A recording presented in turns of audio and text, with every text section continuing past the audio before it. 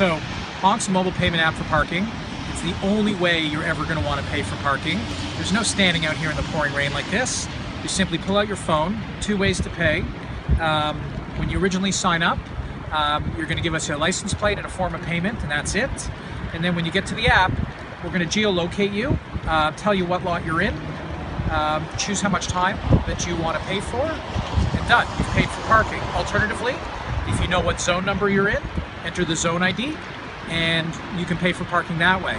And if you don't know either of those things, and you're going to a restaurant, you're going to a meeting, you're going to the Budweiser Gardens for a game, you can search by address, by uh, landmark, by name of business, whatever, find out where you're going, find the closest parking, and buy it from there.